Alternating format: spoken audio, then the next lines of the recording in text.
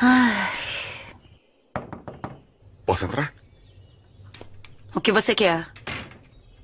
Na verdade, eu estava muito preocupado com a senhora. Só queria ter certeza de que estava bem. É que eu juro que se soubesse que a senhora estava lá no estábulo aquela noite, fique sabendo que eu teria arriscado a minha vida para salvar a senhora. Acredita em mim. Você quer mais alguma coisa? Eu queria só dizer mais uma coisa, senhora. A senhora sabia que. Bom, que o Alessandro me mandou embora da fazenda? Por quê? Eu não tenho certeza, mas fiquei pensando sobre o assunto e cheguei a uma conclusão. Qual? Que foi por sua culpa, senhora.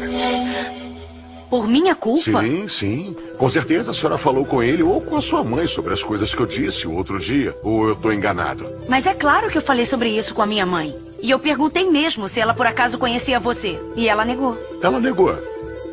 Olha só, dona. A próxima vez que perguntar para dona Graziella se ela me conhece, a senhora vai mostrar essa pulseirinha.